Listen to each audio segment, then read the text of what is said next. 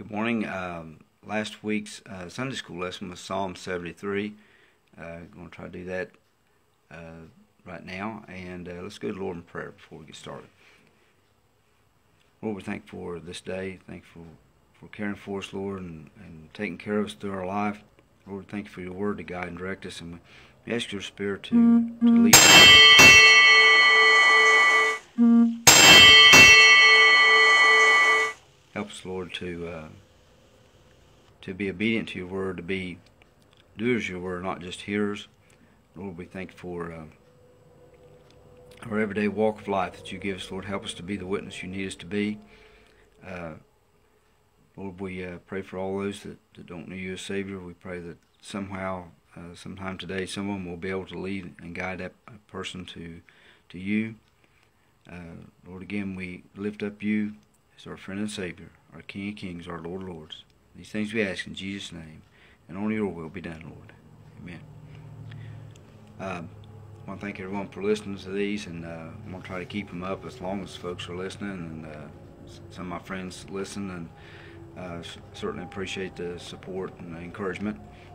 Um, today's psalm kind of goes along with the 37th uh, psalm, which we looked at it uh, a while back, and uh, David kind of gives the opposite approach as to what Asaph does. Now, Asaph gets straightened out toward the end of the psalm, and that's a, a, good thing. But he starts out in a, in a note of praise and he, he lets us know right off the bat that uh, that he realizes God is good to Israel. Uh, he states that, but he also uh, tells us about how that he's troubled. And it's a it's a common thing that that plagued people uh, even today, after thousands of years have went by. Uh, people wonder why do bad things happen to good people, and why do good things happen to bad people, and uh, that's that's something that's, that's hard to explain. We don't know all the the details of everything, but he, here's one of the key issues. We're living in a world that's um, where Satan is the prince of the power of the air, and, and, we've talked about that before. And you have to realize that um, he is alive and well, and um, him and demons are uh, wreaking havoc on the world. They're influencing people. People are listening to, to Satan's influence. And uh, when they do, then things go wrong. Um, happened way back in the Garden of Eden, didn't it? Um, and uh, one thing I didn't mention in in one of the lessons I meant to was that Adam uh, Adam tried to blame that on his wife, didn't he? Uh, told God, "For the woman that you gave me, uh, she gave me that fruit and I eat." He tried to blame it on the on the wife, um, and that might be a tendency that us men might do. Uh, but we're responsible for our own actions. And uh, Asaph, uh, he is uh, toward the end of this, he comes to his senses and he expresses how that um, he was wrong in his thoughts. But right off the bat, uh, it, it's kind of surprising. He talks about how that this was getting him down, and a lot of people tend to struggle with the fact that sometimes people who do wicked things seem to uh, get along quite well.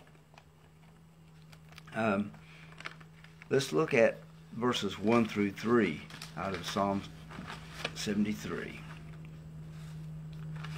Truly God is good to Israel, even to such as are a, of a clean heart.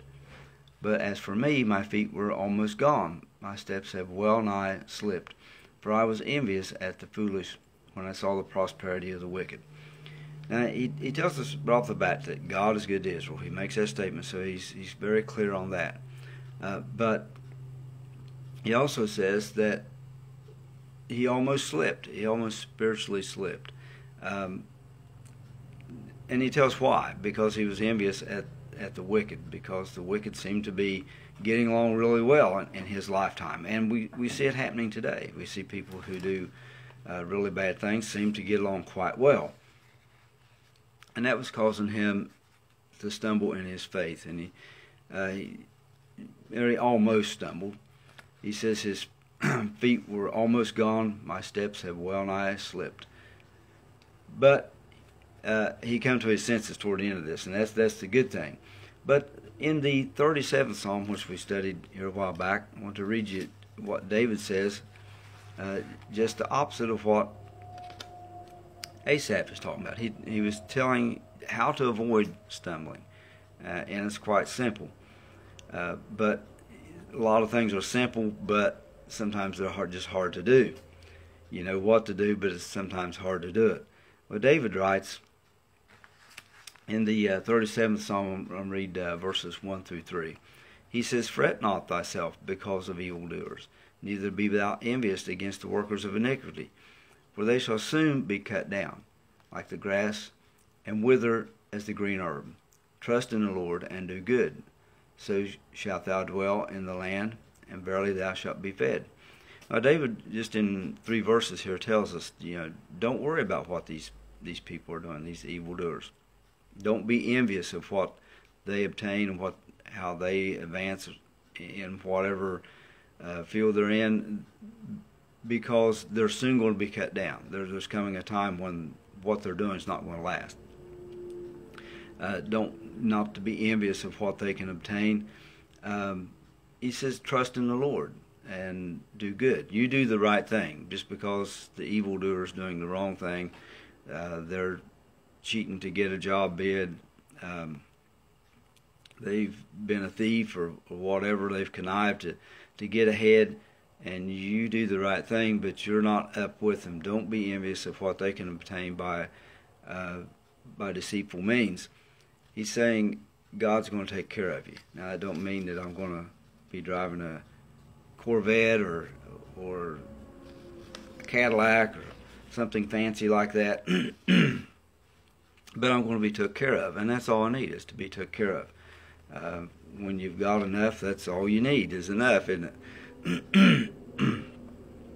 uh, one fellow used to say I worked with years ago says, uh, "It only takes what you make. Whatever you make, you, you find a way of living on it." but as long as we have enough, that's all we need, isn't it? And that, that David quickly gives us the the formula for uh, worrying like uh, Asaph did and almost slipping spiritually. Uh, we should not, because someone does something evil and prospers, we shouldn't let our faith in God uh, waver because of that. Uh, David says, Do the right thing, God's going to take care of you. But Asaph admits that this bothered him to the point where he was almost going to slip spiritually. Um, it's and you know it's easy to see just why Asaph did this. Yeah, it's easy to see uh, why it bothered him because a lot of times when someone does something really uh, dirty and deceitful and seems to get ahead and and get by with it, it it tends to bother us. You know, we we wonder, well, how come that guy he's he's driving the Lamborghini and you know I'm driving the Volkswagen and uh, you know, look how he got ahead. And it tends to eat at us. And uh, Asaph said he was becoming envious of these people because they were prospering.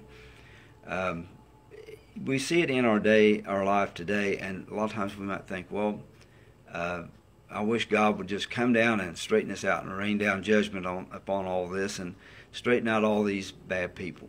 Well, you think about that. What if God had rained down judgment on you. I think about myself. What if God would rain down judgment on me just like I deserve? When I deserved it, would I, I have ever come to Christ? Um, the thing is, God is being merciful. People wonder, well, why don't God come down and straighten this out? Uh, I've told before about a fellow I worked with that uh, told me, says, well, one of the problems he had was that, says, if you've seen uh, a child being abused, and you could stop it, would you? I said, well, sure. He said, well, why doesn't God? If God is almighty and, and he, he can do all these things, why doesn't he? Well, uh, God doesn't judge all sin right at the instant. If he did, there wouldn't be any people. And God is being merciful, giving people a chance to repent. Um, is that person going to be judged for what they do wrong? Will judgment be be rendered, it, it will. Justice will be done one day. They're not going to get by with anything. Uh, every idle word is going to be be brought in uh, out in the open. So we're not going to get by with anything. Uh, and we have to realize that. But right now, God is giving people a space to repent. If God had judged each and every one of us and rendered judgment right at the instant that we done something wrong, there wouldn't be any of us. We'd all be gone. Well, we, we look at our world today and we see a lot of uh, a lot of wickedness going on. We uh, we look around and we we think, well, the wicked seems to be the winners. They seem to be winning. Uh, a recent uh, event, um, an anniversary on January 22nd, 2021. Uh, that is the anniversary when our Supreme Court uh, decided that abortion is legal. Uh, a hot topic in our our country and also around the world. Uh, it's a very hot topic right now.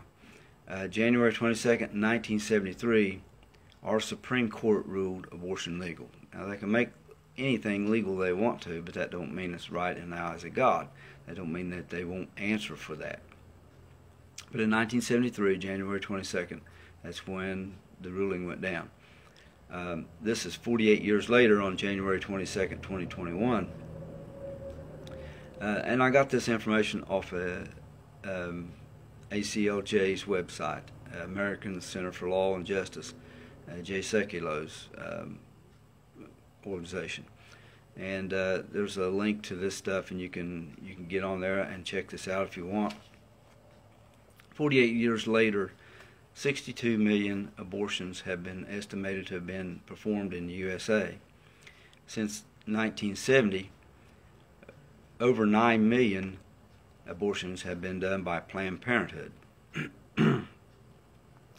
uh, this year, at the time I looked this information up, this year, and we're not out of January yet, 23,741 abortions have been done by Planned Parenthood in our country. Um, in the United States of America this year, there have been over 55,000 abortions performed in the USA. And a little over 23,000 of those were by Planned Parenthood. Since 1980, and remember, in our country, abortion was legalized in 73, but uh, in 1980, worldwide, there's an estimated 1 billion 602 million 564,721 abortions been performed uh, by uh, people worldwide. And these are the estimates. And like I say, you can get on the website and you can have a link to this this counter. And as that this abortion counter showed, those numbers rolling down, you know a baby is being killed every time that number clicks over. And these are estimates, I, I believe. Um, but what is the leading cause of death in the world? And uh, you might think, well, it's, it's, some dreaded disease, it's incurable. Uh, not the virus, it's not the coronavirus, it's not another virus. Abortion is the leading cause of death in the world. That's amazing, isn't it? Now, that was on Jay Sekulow's website, ACLJ. Um, another thing I got off of uh, ACLJ's website. uh, talking about how the wicked win. Well, uh, you may have a different opinion of this guy, but I'm just going to give you the facts on of what I've researched on this fellow. Joe Biden, then candidate, has made the statement. Now, this is off of J- ACLJ's website. You can look it up. He says, As president, I'm going to do everything in my power to expand access to quality, affordable health care, including reproductive health care. Uh, now, reproductive health care is going to mean abortion. So, we talked about Planned Parenthood, how their role in abortion was played out, and how that uh, they were caught selling baby parts for profit uh, Joe Biden then says, I'm proud to stand with Planned Parenthood in this fight. And uh, back sometime when he was uh, running, Uh, of course, he's now president, but uh, Planned Parenthood announced its plans to donate him $45 million to his campaign. So you can see why Joe Biden wanted to back Planned Parenthood. $45 million. They could afford to give $45 million to Joe Biden's campaign. Of course, he's going to open the floodgates for abortion, it sounds like. Um, so the wicked seems to win. now, in the inauguration, uh, Joe Biden's wife held a Bible and he placed his hand on it. Uh, but you know, you're, you're better off to uphold the Bible uh, than to just hold the Bible. Placing your hand on the Bible looking like, well, you know, I'm a nice guy, I'm a religious guy. Uh, I believe in this book. Uh, well, if you believe in that book, then you shouldn't be uh, passing laws that contradict that book. I seen a, a little news thing on my phone, and it was talking about some time ago, good good while back. Uh, Joe Biden visited a fellow that's in the uh, TV industry, and I can't remember his name. I couldn't pronounce his name when I read it. I read this article, and I don't normally get into all this stuff, but I, I read a little bit about this to see just what was going on. And uh, the the topic uh, that he one of the topics he talked with this fellow about was the um, the gay marriage, and uh, of course in Hollywood the transgender thing and the gay marriage and all is a is a hot topic there also. You see more TV shows promoting that. Um, and I actually had to agree with something Joe Biden said on this issue. Um, and this guy praised Joe Biden's words because he said he stepped ahead of Obama. He got ahead of Obama on this issue. And uh, and I don't know if this is verbatim exactly how Biden said it, but he he said it comes down to who you love. Well, I, I agree that abortion issue does, or I'm sorry, the uh, gay rights issue does come down to who you love. It comes down to when you come to the same-sex marriage issue. Uh, do you love God's word? Do you love God, or do you love that sinful lifestyle? Uh, the Bible is plain on this. That is that is uh, a sin, and we we can't mistreat these people. We can't hate these people. We have to uh, try to point them to the gospel, the saving knowledge of Jesus Christ. We've got to pray for these people. Mistreating them is not not the answer. But on, on the other hand, we can't support what they do. Uh, we can't endorse that in our churches and allow that to be an okay thing in our churches. We just have to hold our ground. Uh, but that's that's the world we live in right now. That's what we have elected as president. Uh, someone who believes in these issues, and the Bible is totally different on it. They seem to have won right now. Um, and you know that does trouble a person. It troubles me. Uh, I would like to think, uh, you know, some say, well, there was election fraud. Did they win deceitfully? I don't know. Uh, I'll put it this way: I would rather think that they cheated and got in there than than the American public actually chose them. If we actually chose them, we have chosen people with a sinful uh, agenda. They seem to have won right now.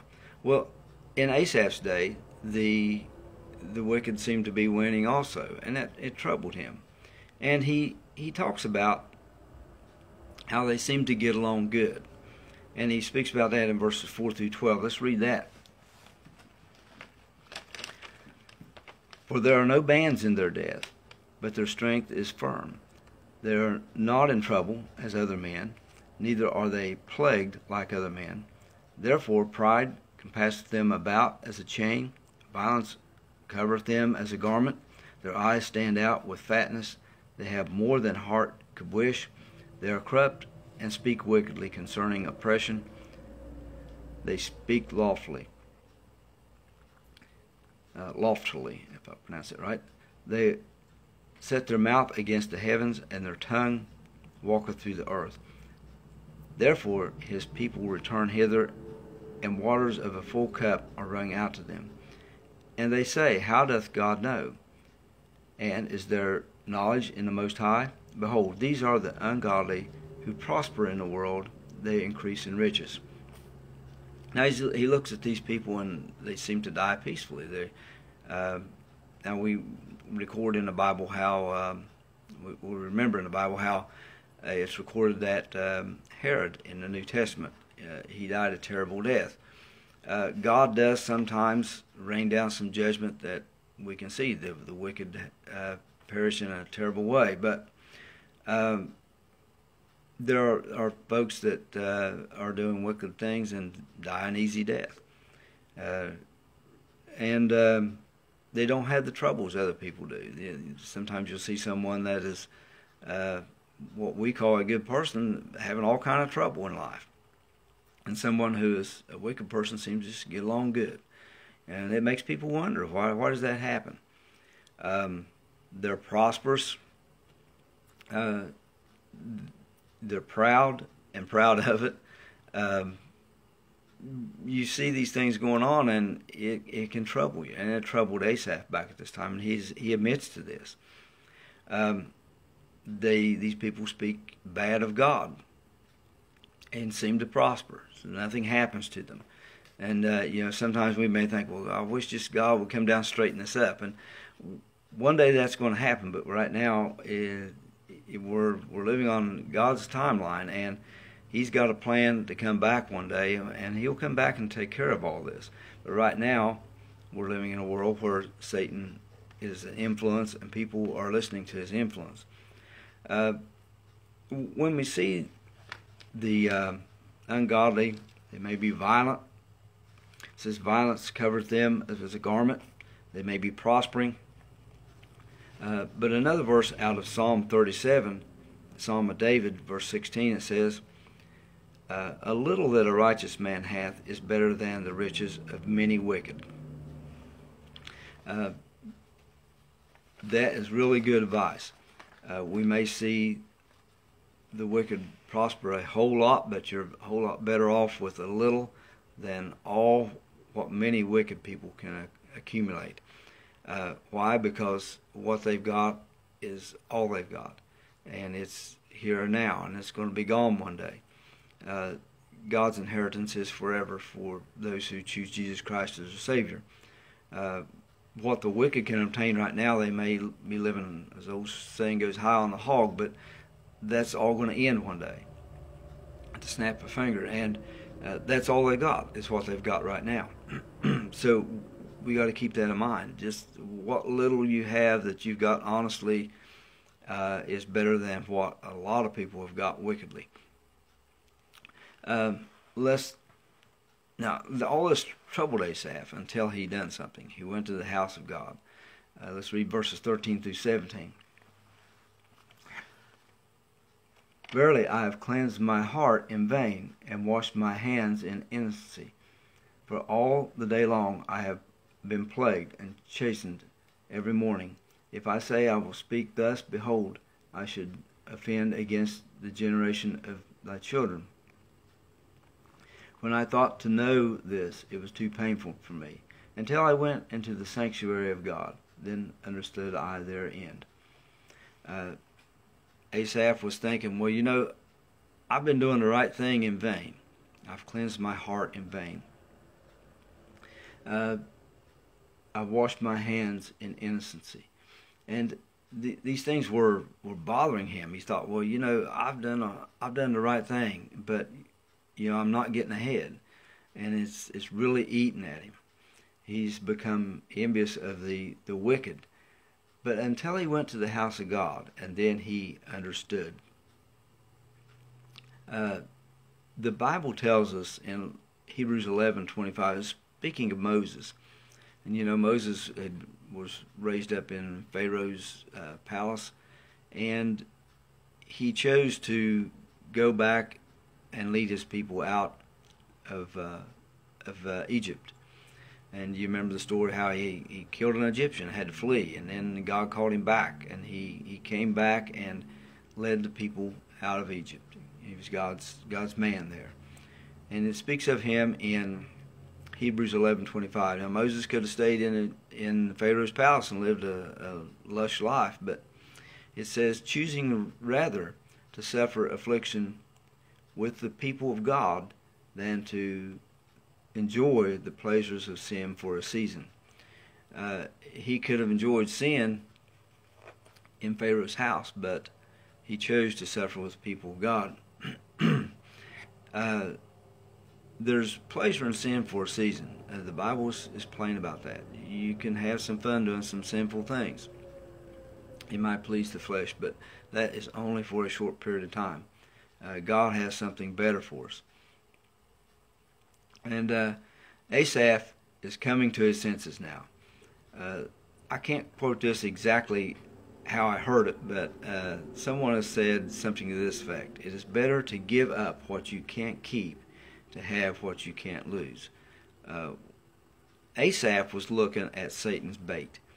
Uh, Satan shows us something that is going to satisfy the here and now, and that's usually what we're worried about is the here and now. I got to take care of what's affecting me right now, and not. And a lot of times maybe we won't look out at the future at what the end result of that's going to be. And Asaph was looking at Satan's bait. Satan reels a lot of people in by giving them pleasure in sin for a season, and they they enjoy the here and now. Why does a person stick a needle in their arm? Uh, because they get some relief from reality for a few moments. It's an instant release, uh, just like uh, someone may tip a bottle up, uh, may take a pill, whatever it is. They, it's an instant release from reality, and uh, they get some pleasure out of it for a, a short time, but we got to realize that uh, God's pleasure lasts to eternity. Uh, right now, we live in a sin cursed world where Satan is alive, and God is giving us is giving us a choice right now. Do you want Satan or do you want me? Uh, that is the choice that God is giving people, and a lot of people, folks are choosing the here and now, uh, taking Satan's bait there's something better out there for you, and it goes. And it's only through Jesus Christ. now, Asaph realizes now the end of the wicked. Let's look at verses 18 through 20. Surely thou didst set them in slippery places. Thou castest them down into destruction. How are they brought into desolation? As in a moment they are utterly consumed with terrors. As a dream when one awakeneth, so, O Lord, when thou awakest, thou shalt despise their image. Uh, one note on verse 20, real quick. Uh, you know, we know that God does not sleep, but awakening here just means uh, springing into action. Uh, God is not asleep at any time. Um, but uh, Asaph went into the sanctuary God, and he realized that these people's end um, is going to come quickly. Now that seems to be different from what we read in verse 4. It says, For there are no bands in their death, but their strength is firm. Uh, it seems to to be a different outlook than what he had at the beginning.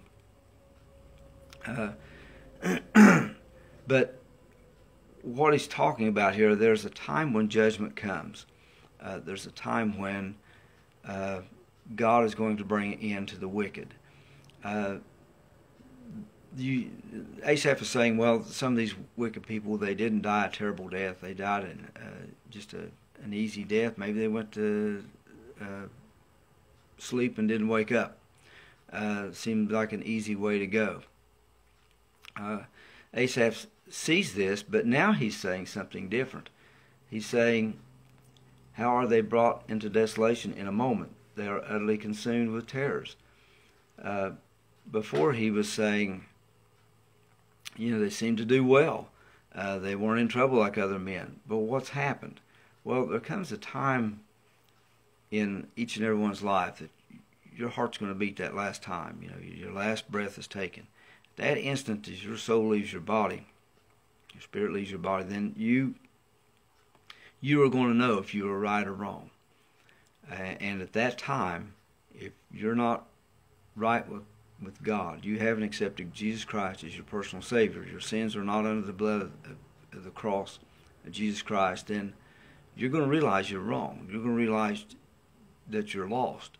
You're going to realize that there's no hope. And I think this is what Asaph is talking about here. How are they brought into desolation in a moment? Uh, they might have enjoyed an easy life. They may not have had trouble like other people. They may have died an easy death, but at, at the time of death, then they're going to realize they're a lost person. Just in a moment, they're going to be surrounded by terror. I mean, that is a scary thought. It's a scary thought for the unsaved. It's a scary thought for the, the people who are saved. It should make a person who is saved realize that you need to get the, the gospel of Jesus Christ out to people who, who need to be saved. Uh, realizing that, that that's their end right there. If they don't come to a knowledge of Jesus Christ and accept Him, that this is the end. They're going to leave out of this world in a lost condition with no hope. At that point, there is no no change. You've had your opportunity to make your choice. You've made your choice, and there's no turning back. There's no purgatory to get out of. You, you're you're doomed. Uh, you're doomed to a lake of fire with Satan, a false prophet. Um, it, it's a sad thought to think that, that folks are going to leave out of this life that way. But here's the thing: Jesus Christ tasted death for every man, as the writer of Hebrews points out, and so everyone can have salvation through Jesus Christ. No one has to leave this earth unsaved, and that's that's the good part about it. Well, Asaph has um, has come to his senses. He realizes that these people are in a slippery place. Uh, I think our country's in a slippery place right now, endorsing some of the things we are. Uh, what do we do about that? Well, we need to pray for our leaders of our country. The Bible instructs us to pray, pray for those who are over us, um, that we can live a peaceful life. And we need to pray for these people. If uh, these people turn their heart to Jesus Christ and get saved, then uh, the country will change. Different laws will be put in place. Uh, we've got a uh, Congress lady in um, Michigan who's very much against Israel. Uh, spoke some things about them and the coronavirus vaccine, how they should make it available to Palestinians or something like that. I'm, I don't upon all the events that took place there. But she was criticizing Israel as being racist because something about the coronavirus and the Palestinians. Well, I don't think Israel has any jurisdiction over the Palestinians. Uh, they can't, uh, you know, they can't go over there and tell them what to do or not to do. Um, this is the world we live in, uh, in slippery places. And what does it mean to be in a slippery place? Well, uh, in Romans chapter 1, God talks about people got so wicked. They made a choice so much for the for their wicked ways that God turned them to a reprobate mind. He just let them go, go on the direction that they're going, uh, which is the wrong direction. And I think that's the direction our country's going. Uh, so I'm I'm hoping that uh, you know our nation will turn around, that our leadership will uh, will turn around and accept Jesus Christ as a Savior. And you know, I'm no one's judge, but when you're endorsing the things they're endorsing, it, it just sounds like they couldn't they couldn't know Christ. Um, a slippery place. God lets you go the direction you're going, and just let you go on. Sometimes, uh, you know, we'll tell one of our children, "Look, you know, don't do that. You you're going to get hurt. You're going to get hurt." Well, if they're not going to hurt, get hurt real bad, now we may just let them let them do something and and realize that they're you know that's the wrong way to go. We just let them have what they want. Well, God may just be letting us have what we want. Uh, in in Romans chapter one, it talks about Him doing that. People turned over to homosexuality that He just let them go. In a slippery place, you rejected God. You just say, "Well, I I want this lifestyle. I want I want to live like this. I don't want anything to do with God." And God says, Well, if you don't want me, you just have to go ahead. Uh, but God is there for them if they want to turn their heart to them. But they they have rejected Him so much that they're they just no longer want Him, have no desire for Him. Uh, well, Asaph realizes that uh, that he is had some wrong thoughts. His theology was wrong and he admits that. Let's look at verses 21 and 22. Thus my heart was grieved, and I was pricked in my reins. So foolish was I, and ignorant I was as a beast before thee. Uh, he realizes that um, his thoughts about worrying about what the, the wicked could gain was just was all wrong, and he admits that, and he he's sorry now that he he had those thoughts, but he's been honest. You know, God's word doesn't only record the good things about his people, but it, it records the things that are wrong, just like David's sin, it's like uh, Moses, uh, his sin. It it doesn't record just the good things, but it lets us know that by by recording the sins that, that God's people do, it lets us know that that we too are not going to be perfect, but there is still salvation for us through Jesus Christ. It lets us know that God's mercy is still there for us if we'll come to Jesus Christ. Uh,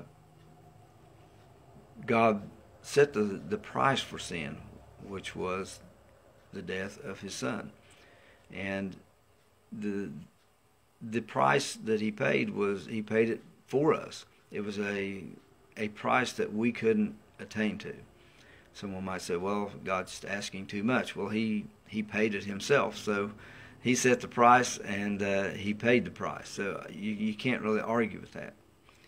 Uh, so Asaph started the psalm with praise, and he ends it with praise. Let's read uh, the rest of the psalm, verses 23 through 28. Nevertheless, I am continually with thee. Thou hast holden me by the right hand. Thou shalt guide me with thy counsel, and afterwards receive me to glory. Whom have I in whom have I in heaven but thee? There is none upon earth that I desire but thee, besides thee. My flesh and my heart faileth, but God is the strength of my heart and my portion forever. For lo, they that are far from thee shall perish. Thou hast destroyed all them that go whoring from thee. But it is good for me to draw near to God. I have put my trust in the Lord God, that I may declare all thy works. Well, fortunately, Asaph got straightened out with God he realized that God was not is not unjust, and that the wicked will be judged. They're not going to get by with anything they're doing, although it seems like they are. It may seem like in our world today the wicked is winning, but there's coming a day of judgment. the only way you can be ready for that day of judgment is put your faith and trust in Jesus Christ. He paid for your sin, and so you don't have to pay for it.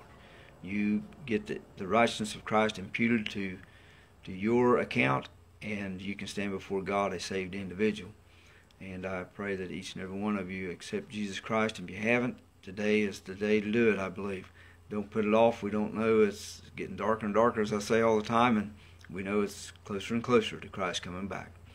So uh, if you do that, uh, let us know at the church, and be glad to talk with you. Uh, I'd like to hear that. So uh, next week will be the 78th Psalm. And Lord willing, uh, all goes well, we'll be looking at it next week. So y'all have a good day now. Bye.